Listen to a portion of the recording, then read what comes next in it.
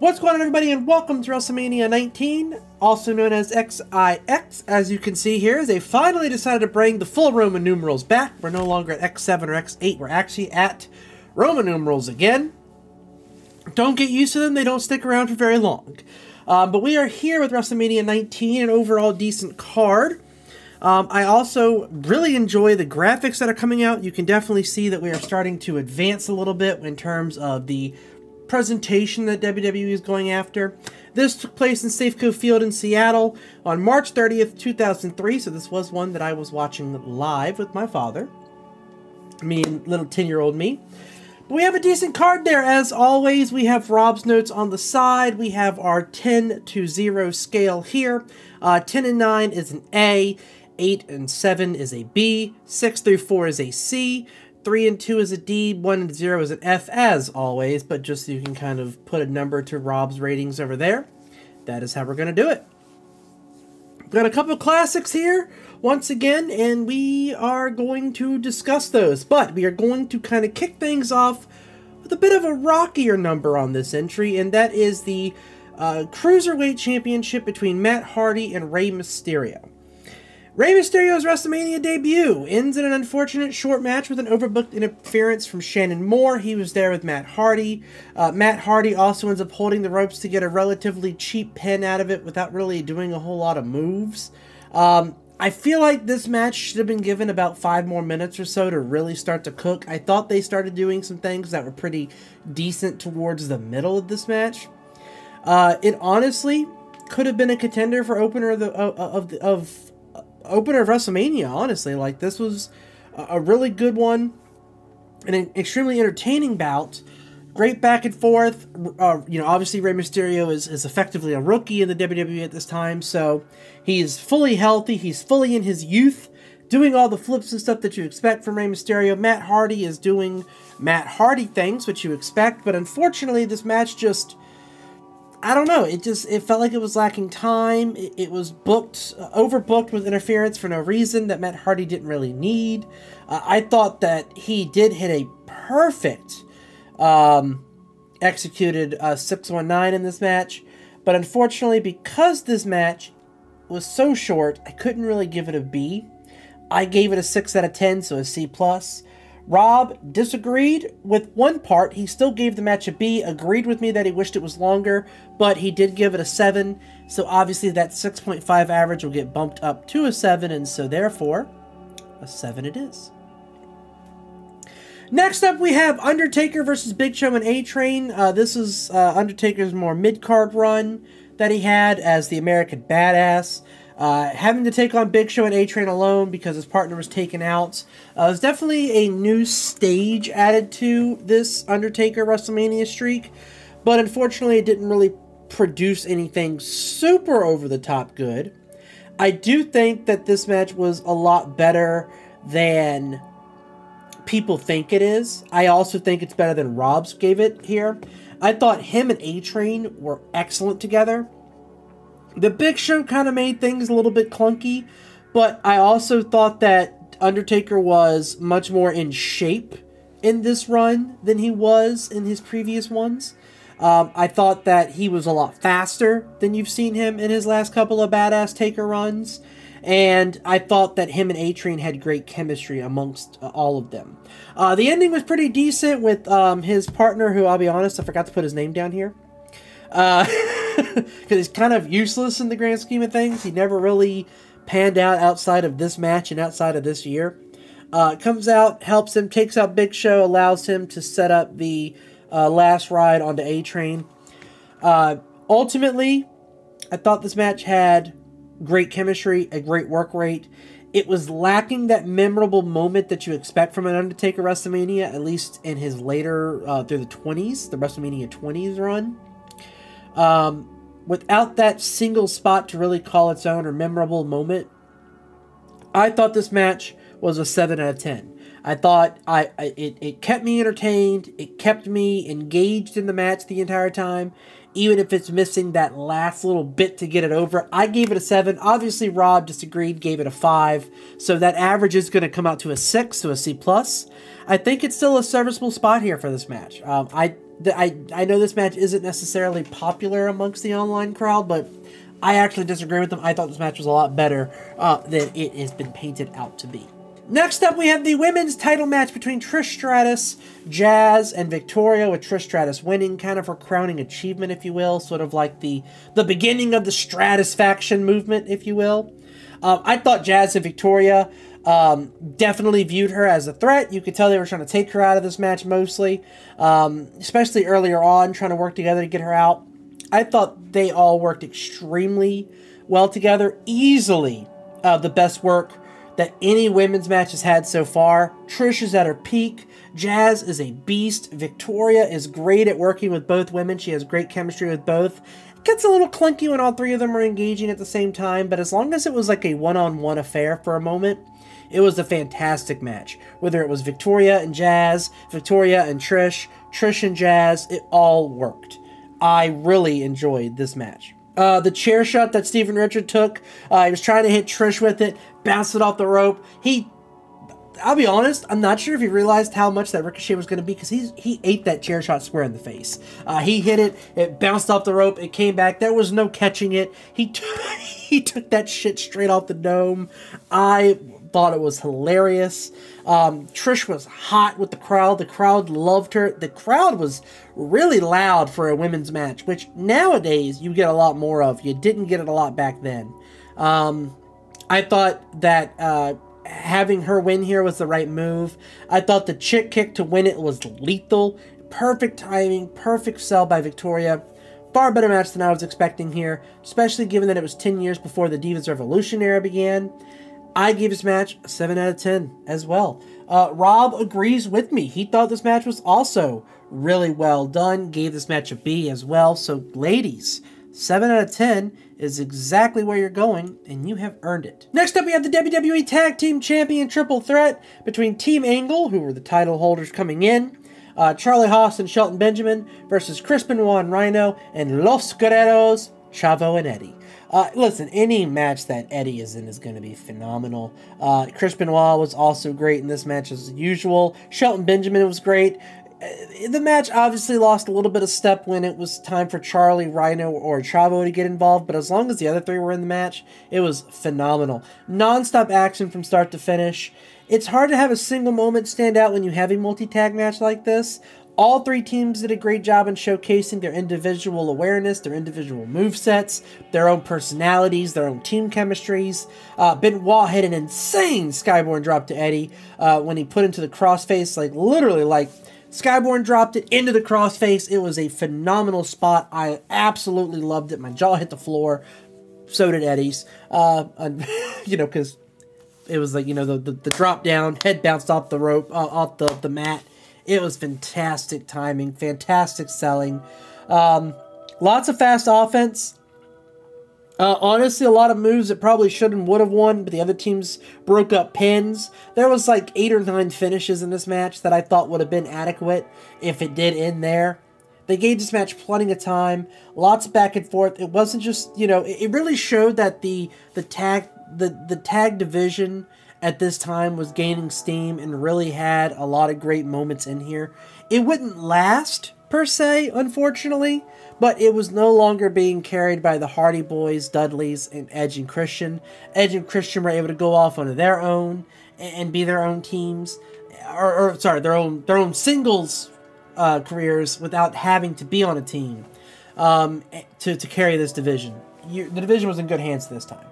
Um, I thought every time uh, Rhino gored someone. I thought they were broken in half. It, it's his best. It really is only calling card, for being perfectly honest here. The man had a fantastic spear. Kind of lacked everywhere else, though. Uh, I thought that um, I, I do feel like um, the right team won here, given uh, the uh, Team Angle winning again, retaining their titles. I just thought they were the hot, the hot crowd, right? The, the hot faction with the crowd right now. And Shelton Benjamin has always had a really soft spot uh, in my heart for him. So I really enjoyed this match. I gave this match a B. I gave it an eight, so actually a B plus. Uh, I thought that with the zero downtime, a phenomenal ending, needed a few more moments to cook to really hit that 9 out of 10 in my opinion, but I thought an 8 out of 10 was a very adequate spot for this. Rob slightly disagrees. He gave it a B minus, so he gave it a 7. It is going to average out to a 7.5, so it's still going to get an 8 uh, as far as everything is considered here. But overall, great tag match. Definitely needed for the division as a whole to not rely on those same three. Next up, we have Shawn Michaels versus Chris Jericho an all-time classic. Me and Rob both gave this match an A. I gave it a 10. I believe he also gave it a 10 as well. But given that we are getting into the classics of WrestleMania heritage, I think me and Rob should discuss this match because this match, in my opinion, came out of nowhere to be a classic, and Rob seemed to agree. So, for this week's match review, I always say this week's, this reviews match review. Let's talk to Rob about this match, Shawn Michaels and Chris Jericho. Welcome to the match review, everyone, of WrestleMania 19. Chris Jericho versus Shawn Michaels, and yet again, another all time classic that we're coming to you with. One that I actually forgot existed until I was doing this rewatch, actually. I am, if I can avoid um, hiccuping all over the place, I am here. That's why I keep drinking water. I'm hiccuping bad tonight. I am here with Rob. Say hi, Rob. Hi. Hi. Uh, we're here to talk about this match. Would you please shut the hell up? Okay, fine. You talk about it then. You do this review by yourself. I don't, you know, that's just. I, I know you're imitating Chris Jericho, but that hurt. I'm, you do it yourself. I'm done. Anyway, we're we're we're. I love you, buddy. Yeah, I'm sure. All right, Jericho. Um, you just made the list. So thank you. uh, so basically, this entire match setup was sort of a clash of eras. Chris Jericho's always looked up to Shawn Michaels, even though ironically they're kind of close in age. Jericho's like five years younger than Shawn Michaels, but they built this match up like he was twenty years younger. Um, well, so Chris Jericho did say that his dream match would be against Shawn Michaels, and uh, and of course, Shawn Michaels has been out for like four years. So right, and he was like, you know, oh, Michaels is coming back, yada yada.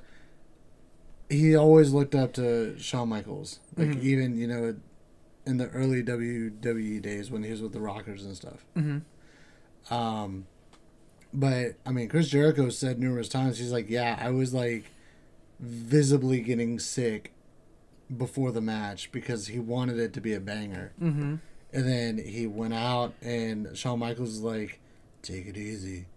And then all of a sudden, they put out this fucking banger of a match. Yeah, all time classic. I mean, the chemistry, the chemistry these two had was insane. The mm-hmm. back and forth, the counters. I mean, it's like they knew each other's playbook heart to heart cover to cover, page to page.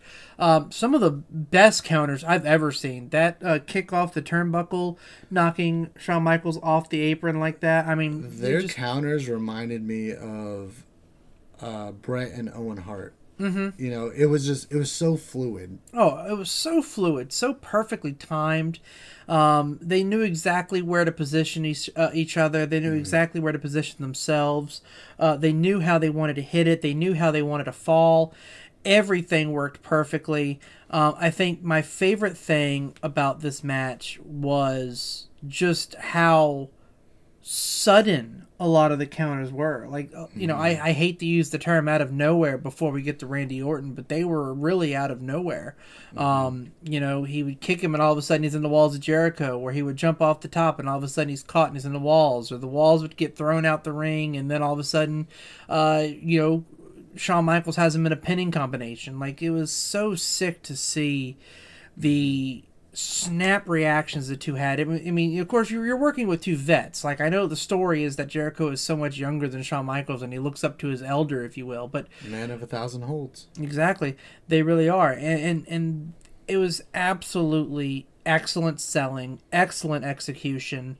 Um, I thought the the sweet chin music out of nowhere when like when like trip when uh Triple H fuck when when like Chris Jericho was like fumbling around all of a sudden bam out of nowhere like the camera work for this match from an entertainment value and from an audience perspective added so much more mm. to this match because obviously people in the arena could see him getting up for it.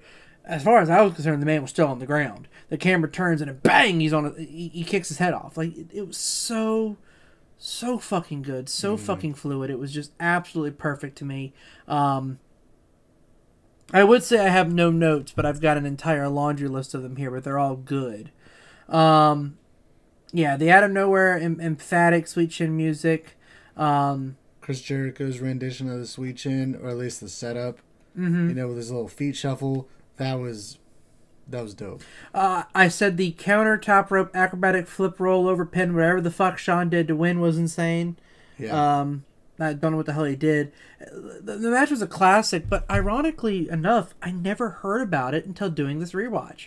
I was blown away at how good this match was. Do you have any idea why this match isn't talked about more? Is it because there's so many classics on this card? or so many good iconic matches on this card. Like, why is this match never talked about? Uh, so my ratings, my lowest was a C plus, and that was the Triple H versus Booker T match. Mm-hmm. But most of the matches had either a B, a B plus, or an A. Mm-hmm. And I think this match may have just gotten overshadowed because the rest of the card was just absolutely stacked. Mm-hmm. Uh, but from a wrestling community standpoint, I know that this match has been talked about a lot, but I know it's not on everyone's top 5 mm-hmm. You know what I mean? So, right. Maybe that's why. I mean, I thought this match was phenomenal, but you know, there's been a ton of five star matches. Well, you know, it's gonna get lost. In our somewhere. opinion, not according to Dave Meltzer, but yeah, um, yeah, honestly, like this match is just iconic. This was probably Jericho's best match. I think. I don't know if he has a better one than this, but this is definitely his best so far. Are you talking about WrestleMania wise? Yeah. Oh, in general, like I don't remember another. I don't remember a Jericho match that left me going. Yeah, that was that was that was a five star match. That was that was a perfect match. I mean, I would say when he won the undisputed championship. I mean, that was good. I, I gave that an A. I'm pretty sure, but mm-hmm. this match, like I left this match going, this is this is this is peak Jericho here. Mm-hmm. Shawn Michaels had delivered performances like this in the past, mm-hmm. but I left this going, this is peak Jericho. I don't know how he goes above this. I can definitely see him going down from this, and he is, but this was like he's at the top now. Like there's there's no he's at the he's he's reached the mountaintop with this match. Um, yeah, gosh, this is just it, it's a match that I really don't have a comparison to as far as like I know we typically like try to talk about well with this match here, what about this match or who would you see here? Like this was the perfect combination of two wrestlers that meshed together perfectly. This is my modern well, it's no longer modern, but at the time, you know, growing up, mm-hmm. I saw this like the modern day Savage versus Steamboat. Mm-hmm. That's how I saw it. Which is still one of my top matches ever mm-hmm. ever ever done. Um, but I can agree with that. I can agree with that. Just just the the sheer chemistry these two have, the the flow of the match itself. I can definitely definitely agree with with that point there. Um, what would you say is your favorite part of the match? Because I've kind of already spoiled mine, that out of nowhere sweet chin music. But what would you say is like your highlight of this match? Uh, I mean, the sweet chin music out of nowhere, sure, but I would say the counters, mm-hmm. like, it's not like a specific oh this happened out of nowhere, uh, moment. even though that's yours, but mine are the counters. The counters just blew me the fuck away, dude. Mm-hmm. And I was just so mesmerized. Like, usually I'll have like a talking point on a match here and there. This is one of those I was so freaking drawn. You're just watching it and you're that- like I, I can't take my eyes off it. Like I like I'm this is this is one where I'm happy there's a long draw between this match and the next. So mm-hmm. I could type all this out. Mm-hmm. Yeah, and it was one of those. I probably got. I'm luckily I checked on Peacock to see where I was before the ad started because I was like, oh snap! I'm like 85 percent of the way through. I gotta come up with something to talk about. I was like, you know what? I'm gonna talk about the counters because that's what's got me like, Hmm. I, So- I agree. yeah, Um, but yeah, this is definitely an iconic match. Where the, the the manias are banging right now. The manias are banging, that's for sure. Uh, they're having mania babies. Lots of mania babies. Those are the duds. The baby, the baby manias. Yeah, those are the future future manias are being set up because of how good these manias are. Like kids are watching this and teenagers are watching this, going, "I'm a, that's what I'm gonna be one day, Dad." And and and those little manias they grow up to be what we get now. Um, thank God. yeah. I'm Thank God these manias banged back in the early 2000s so we could get the manias we have now. yeah. That's right. Adopt, don't shop. What is wrong with you? What is wrong with you? Back to me. so yeah, as we said, 10 out of 10 match. Absolutely phenomenal. We'll put it there and move right on because you guys have heard me and Rob talk about it already. Next up, we have Triple H versus Booker T for the World Heavyweight Championship. I know the story of this match is not good. Uh, the entire build up to this match is basically Triple H degrading Booker T, calling into question all of his accolades prior to WWE in WWE. There is a lot of racial undertones that also go into this build up, which are not good. It also ends in Triple H winning and effectively burying Booker T down the card because of it. So not only was the build not good, uh, the result ended up causing pretty much unrecoverable damage to, to Booker T's career as a main eventer. He had some flashes as a mid card guy, had some flashes as a tag team guy, never seemed to be able to recover enough to really make it back up the card to the main event scene. So that alone makes this match pretty disappointing. But the match itself was pretty goddamn good. Uh, I thought Booker T definitely held his own against Triple H, who at this point was basically becoming a perennial main eventer, even if he is on the mid card here.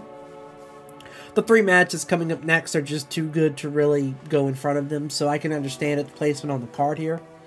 Um, I thought that uh, the amount of near falls made this match extremely dramatic, extremely suspenseful. I thought the ring work here was excellent. Booker selling the knee injury was perfect. He showed he could hang. Um, but again, horrible build, horrible conclusion. The story was dreadful. Um, the leg failing Booker worked into a pedigree, and then on top of all that, Triple H took 30 seconds to cover him for the win. A 30 second crawl, and it didn't result in the kick out those long drawn out crawls typically do. Uh, he actually got the three count after doing it, which just felt pointless to me. Like, just fucking pin him. Like, there's no need for this. The in ring work is good, but I obviously rate this based on a lot of factors, not just in ring work. As you could tell, Rob gave this match a C plus. I thought the match itself was a seven out of ten, maybe even an eight. The story of this match was fucking horrible. Two out of ten, horrid.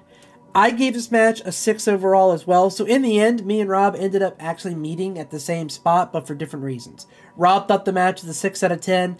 I thought the match was borderline eight out of ten, but the story and build up ruined really any type of enjoyment I can get out of this match. So six out of ten is where it's going to go. Also, Jerry Lawler, god fucking um, awful on commentary during this entire match. Just absolute borderline racist with some of his comments. I know he's supposed to be the heel commentator. Absolute fucking garbage in this match. Um, honestly, I haven't really enjoyed him as a commentator for much of these match reviews that he's been in.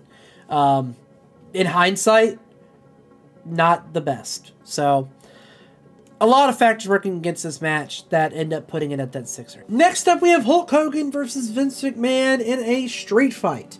Uh, the beginning of this match was typical heel domination by Vince, with Hogan having a good power comeback. Um, I thought the chair shot that Vince McMahon took uh, was fucking amazing. Um, he was busted open hard, and he bled. I mean, the the street fight kicks off from there. Chair shots galore. Vince busts open Hogan. The leg drop off a steel ladder was an insane, insane spot for Vince.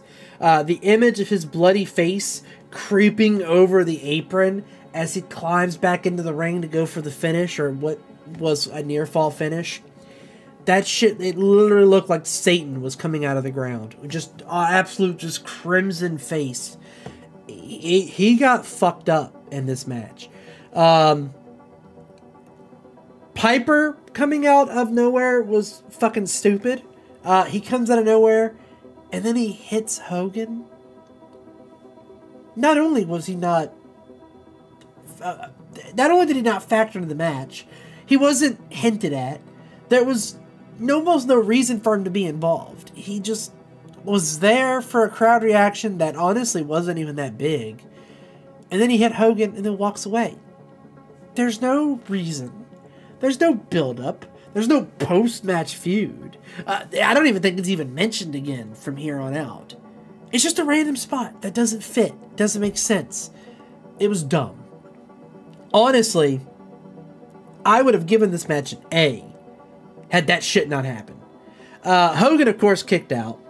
Uh, we got the first ever Hulk up that I was happy to see, which again has not been the case for many WrestleManias. Usually, when he hulks up, I lose interest, but this time I was very glad for him to hulk up and beat the shit out of Vince McMahon because I love seeing Vince McMahon get the shit beat out of him. It is great. It is wonderful to see every single time. Um, beats the ref that screwed him before. Apparently, uh, there was an Ottawa ref that he or Montreal ref that he screwed over, which was pretty cool nice little hint. I guess I didn't see that match, obviously, but it was a nice tie into this match. Three leg drops to get a Hogan win, just to really seal it in. In retrospect of the previous match, the story of this match makes it better than in, better than the in-ring work. Actually, a fantastic back and forth for two older men that made the story work even better. I gave this match 8 out of 10.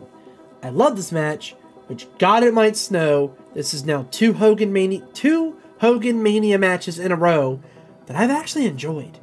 Um, Rob gave this match a, a B as well. I gave it an 8 out of 10, so even if he meant to give it a 7, it is going to average out to that 8. And as you can tell, this card is stacking up to be an all fucking timer. It has been a great show so far.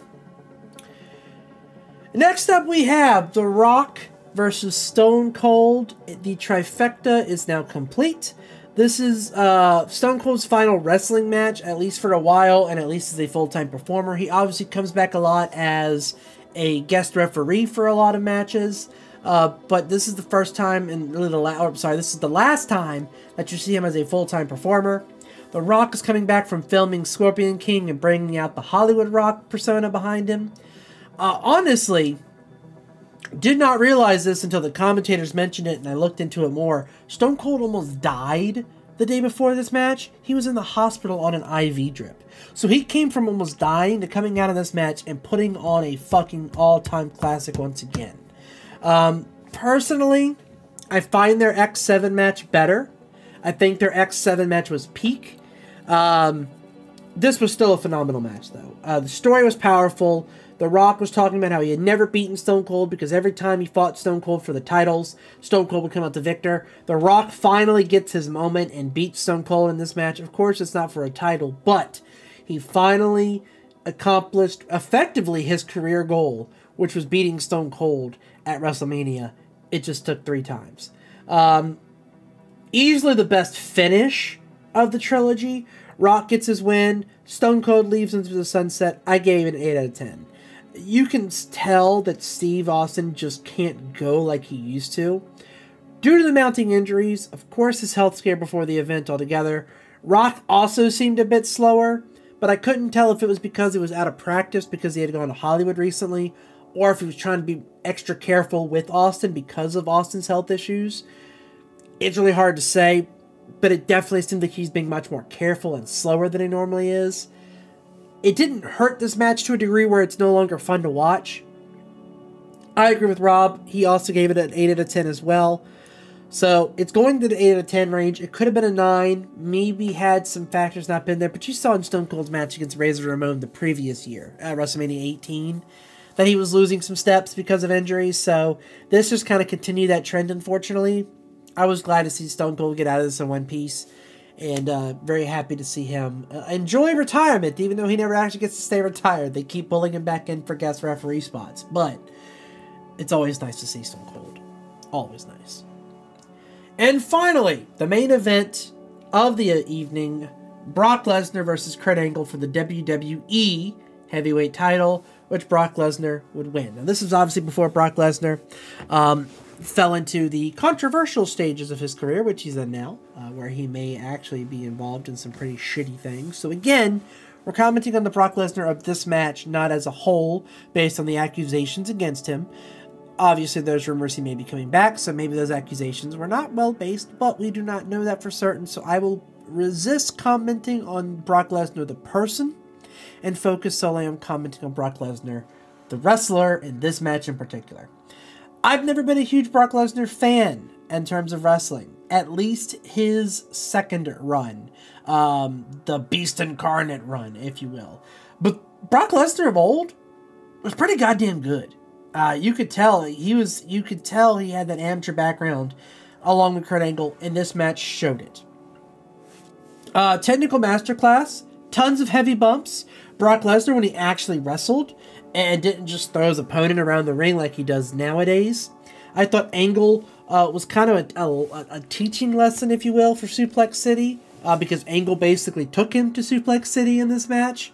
Um, I thought that the every move that these two did looked powerful, looked intense, had a purpose, had meaning, and it consistently looked like they were actually getting worn down, which is always my favorite types of matches. Uh, the middle of the match felt a little weak, but it also felt like the crowd was fatigued from the same high energy card. You could tell that this card was sacked. I mean, there's no denying it, especially uh, given the two matches that came before this one, being Hulk Hogan and The Rock and Stone Cold. So it kind of makes sense for the crowd to be fatigued at this point, but you could really tell that middle was just very weak and very quiet and very calm. Uh, I thought it did pick up in the end. The shooting star press botch could have easily been a top five spot of all time had he not been too far away uh, from Kurt Angle when he did it and basically land on his head, kind of headbutt Kurt Angle because of it. I thought Angle played it off really well. Third F5 of the evening ends the match. A good showcase of the two best grapplers, the two best true amateur wrestlers. They definitely showed it off, especially at the beginning and the end with how they were kind of like slipping in and out of each other's moves. But had he landed that shooting star press, 9 out of 10. Easy 9 out of 10 for me. Um, the fact a man that big did it in the first place uh, was phenomenal. But I gave this match a 7 out of 10 based on all aspects. Um, I thought that the poor middle, the crowd reaction wasn't there, the bot shooting star press, it was a great main event. I thought that it was less than what the internet felt it was, and also clearly less than what Rob felt it was. Rob gave this match an A. Of absolutely phenomenal match to Rob. I gave it a 7. Now, I don't know if Rob intended to give this match a 10 or a 9, but I don't think it's really going to matter. Uh, this match is going to end up getting bumped up to an 8 out of 10. Even if he gave it a 10, a 17 divided by 2 is still an 8.5. So I guess that would have brought it up to a 9. But in this case, we're going to leave it at that 8. Um, because I feel like it just it, it fits it fits that that range a little bit better here, assuming that Robin to give it a nine. Um, if he meant to give it a ten, I mean, ultimately, it's not like it would matter, but so much. This this card is still absolutely stacked. So, um, yeah, let me go ahead and calculate the uh, match average here for us. Give me one second here. And this nine match card ends up averaging out to a 7.56. We officially have a new top WrestleMania. Uh, I'm pretty sure. Um, give me one second. I can actually check on that. Because WrestleMania 17 was the top one. Yes, we gave WrestleMania a 7 out of 10. Um, so yeah, this one is going to end up being the new the new best, 7.56. So incredible card from start to finish. Absolutely nothing average or below. This is peak wrestling in my opinion. WrestleMania 19. You are the current champion. I hope you have a long reign. And you will, because I feel like every single WrestleMania after this has like one classic and then one absolute fucking garbage match. So I don't think they'll ever get to above a 7.5 because of that. Um, the 10 and the one, the 10s and the ones and zeros are going to offset each other. So that's just a little teaser to look into as you're watching these reviews. But otherwise, I hope you all had a fantastic time, and I will see you tomorrow for WrestleMania XX, WrestleMania 20. Have a good night, guys.